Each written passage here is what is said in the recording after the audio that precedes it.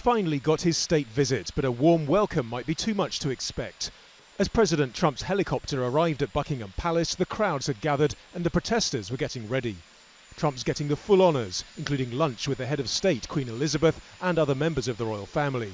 The original offer of a state visit at the behest of Prime Minister Theresa May came soon after Donald Trump took office. But now she's on her way out. He's already broken protocol by backing former Foreign Secretary Boris Johnson to replace her.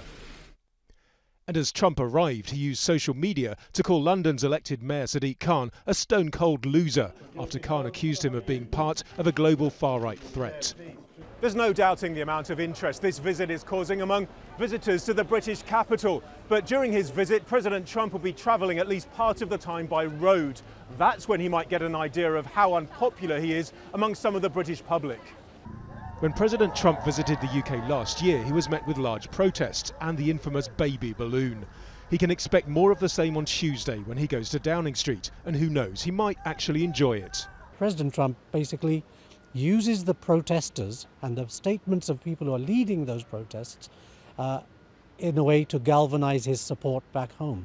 His view is, you see, I, when I stand up for America, people are always going to oppose us. We're under siege. I'm the only one who really fights for this country, and I'm trying to fight for you, for your jobs, and so on. Trump's met Prince Charles and his wife Camilla amid speculation the heir to the throne might try to convince the president to take the climate crisis seriously. He's also met Charles's son Prince Harry, but not his American wife Meghan Markle, whom he's also criticised via Twitter.